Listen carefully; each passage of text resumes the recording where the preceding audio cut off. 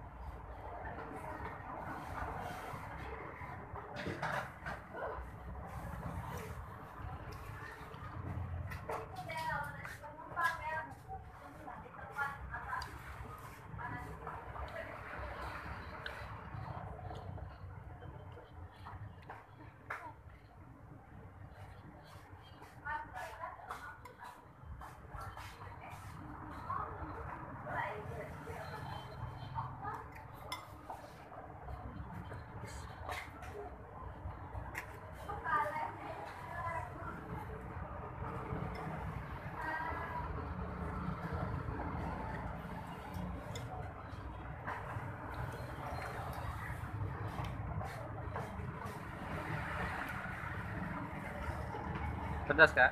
Mantap. Enak ya?